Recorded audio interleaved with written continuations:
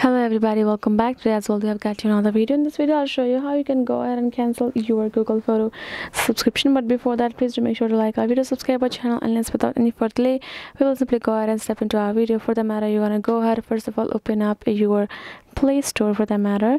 So once you have opened up your play store you will find your google account on top. Go ahead tap on it. Now tap on this option called payments and subscriptions so google photo is obviously one of the services provided by google itself.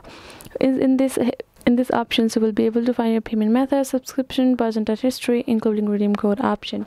What we need is, is the subscriptions option. Once you tap on it you can see currently i do not even use any subscription neither for the google photos or none of the other services.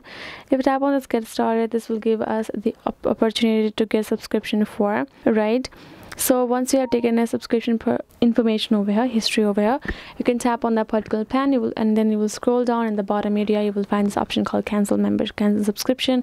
Once i tapped on it it will ask for you to provide a reason for you another another confirmation regarding it and you will be able to simply remove your subscription for your google photos over here. So this is it guys. I hope this video was helpful to you all. Thank you so much for watching and yes i'll see you guys in our next video